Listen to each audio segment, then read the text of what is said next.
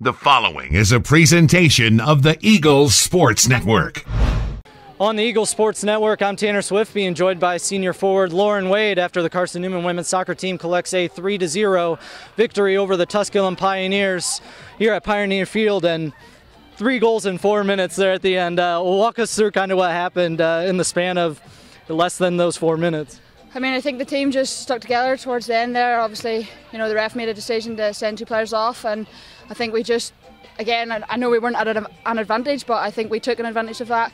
Um, the, you know, Kat played a good ball through, finished the first one. Holly squared me up and finished that one. And I mean, overall, I can't thank the girls enough. It was a good team performance. There's not one player in this team that you know takes advantage of anything. We all stick together and great team performance a year ago exactly tomorrow, you also had a hat trick in 2016 against Tusculum. What is it about the Pioneers?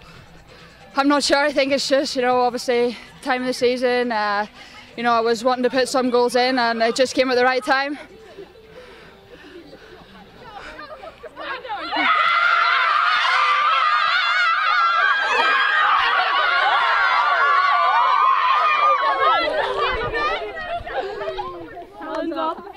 13 straight games unbeaten to start a season is now a program record. It is yours.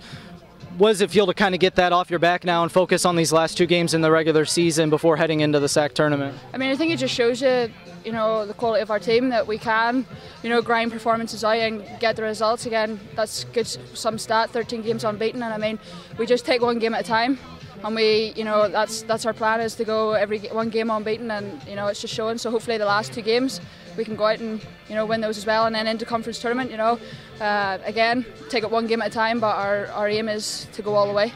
Lauren, congratulations and thank you. Thank you. She's Lauren Wade with a hat trick tonight in the 3 0 win. And for the Eagles Sports Network, I'm Tanner Swift. Talons up.